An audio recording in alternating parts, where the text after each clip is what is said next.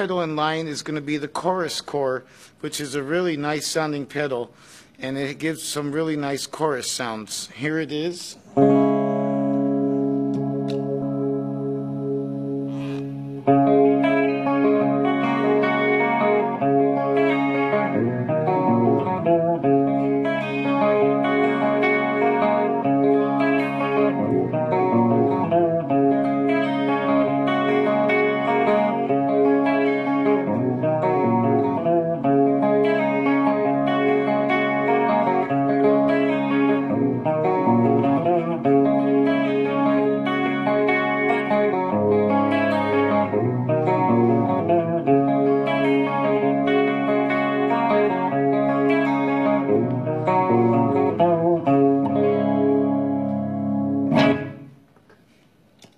Now we're going to check out the phaser core.